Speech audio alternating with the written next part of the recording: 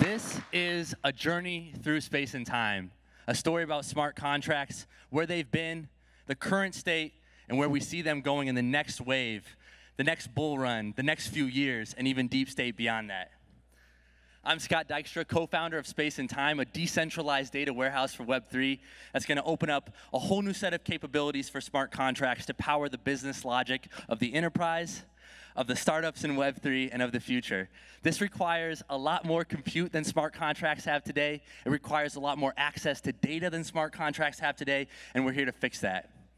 I was uh, I spent the last decade at, at Teradata, a, a leader in, in, in centralized data warehousing, kind of centralizing the, the Fortune 500's data into the cloud. And it's funny to see blockchain completely erase all that hard work we did, and I love it.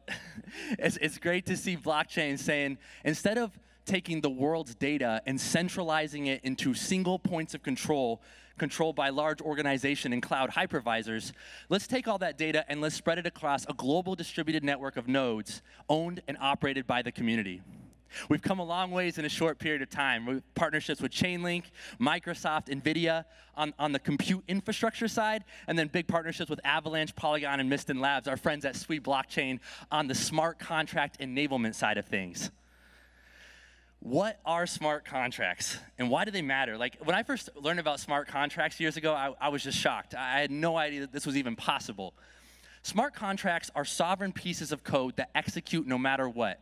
They cannot be controlled by an individual. They cannot be governed by an organization, by a government. They cannot be shut down and censored.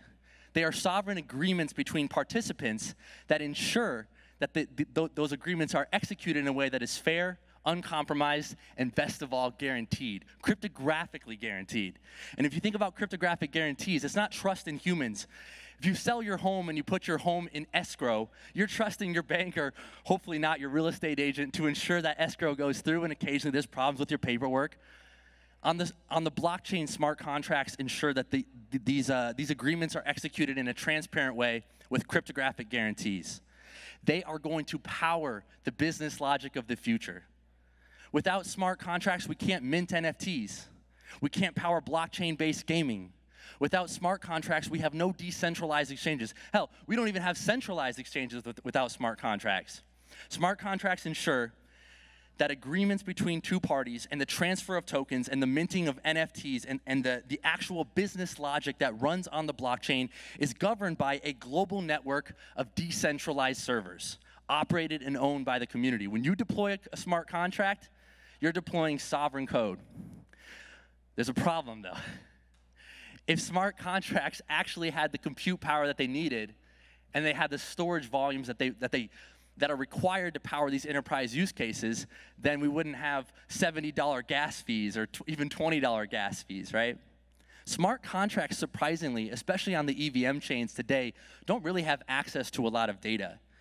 Something as simple as show me all wallets that have purchased two NFTs. If you want to write business logic that simple, hey, give me all the wallets that have purchased these two NFTs within my collection, and I'm going to give them an extra incentive on chain or an extra reward on chain. Business logic that simple cannot be done today on an EVM based smart contract. It kind of feels like a 1980s COBOL uh, mainframe, right? It's got enough power to, to, to, power like a bank, to power Wells Fargo, but it certainly doesn't have enough compute power to enable a mature social network or enable, for example, uh, you know, an entire industry, oil, energy, transportation, banking, right?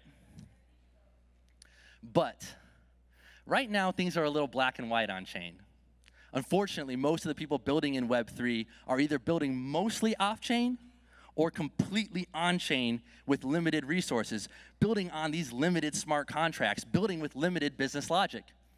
Developers that are building big blockchain games, social service, social networks, they're all building off chain in the same Web 2 databases that powered the last decade, and they're connecting little aspects of that infrastructure to their smart contracts. Alternatively, there's folks that are building fully decentralized. There's the Uniswaps of the world, the decentralized exchanges of the world that are fully on chain.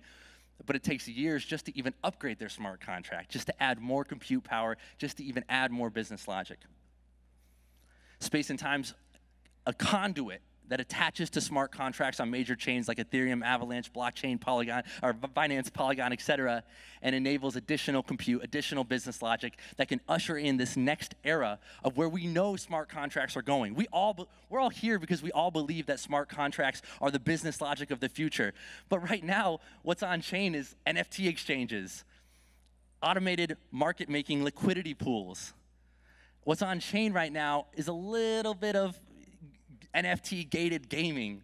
We've got to fix that. If we want true utility on the blockchain, we need to empower smart contracts. Space and Time does that by first indexing data from major chains, uh, organizing that data and making it cryptographically guaranteed and preparing that data for, for, for business logic and for smart contracts to accessing, access that data.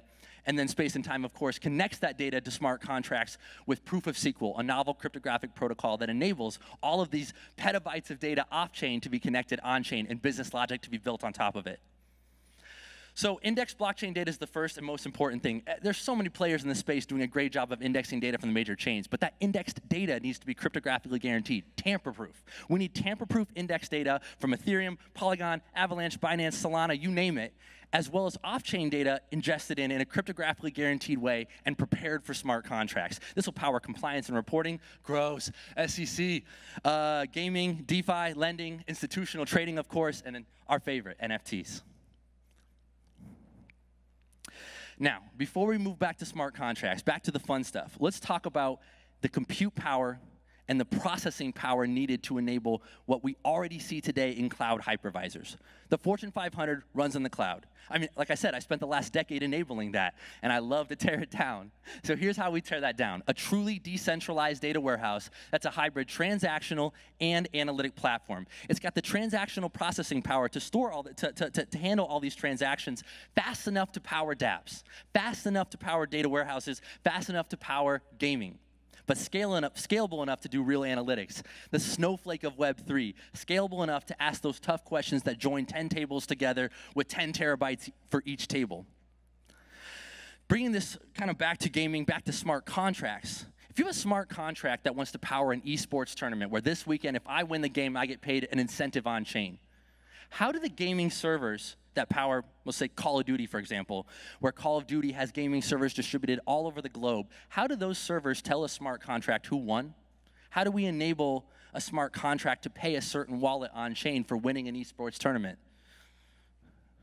Space and time sits between these smart contracts and these gaming servers deployed all over the world and ensure that in a cryptographically guaranteed, tamper proof, trustless way, that these gaming servers can aggregate the end game events and write them to smart contracts. Space and time connects these gaming servers to a smart contract. So then fans, for example, could stake on an esports team. I could stake on, I don't know, FaZe Clan and say, I bet FaZe Clan's gonna win this tournament and then I get paid along with them. Those are new business logic for gaming that we can enable on chain if we could connect the gaming servers to a smart contract.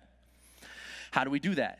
Well, like I mentioned, proof of SQL is a novel cryptographic proof. It's a ZK snark specifically for a database. This is new technology we built from the, from the ground up. This is hard work. This requires a lot of compute, a big GPU cluster deployed all around the globe, and it requires a lot of storage, and it requires the ability for us to prove the work we're doing, prove that these gaming servers are, are giving us accurate information, prove that FaZe Clan actually won that gaming tournament, and connect that data to a smart contract for additional predetermined business logic to, to occur.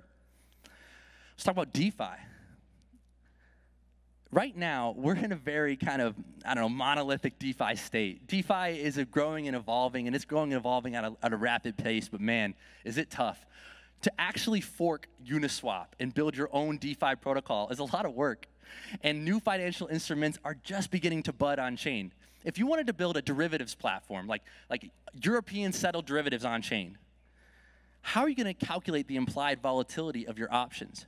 And then, therefore, how are you going to calculate your options prices? Today, think back to that COBOL mainframe 1980s picture. A smart contract does not have the compute power, it does not have the gas to calculate the implied volatility of a derivative.